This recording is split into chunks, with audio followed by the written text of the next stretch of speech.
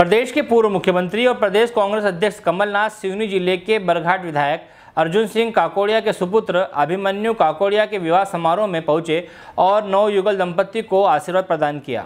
शुभ विवाह समारोह के आगमन पर जिला कांग्रेस कमेटी सिवनी के अध्यक्ष राजकुमार खुराना, पूर्व विधायक रजनीश ठाकुर और सभी कार्यकर्ताओं ने भव्य स्वागत किया। छपारा से आरिफ मोहम्मद की रिपोर्ट।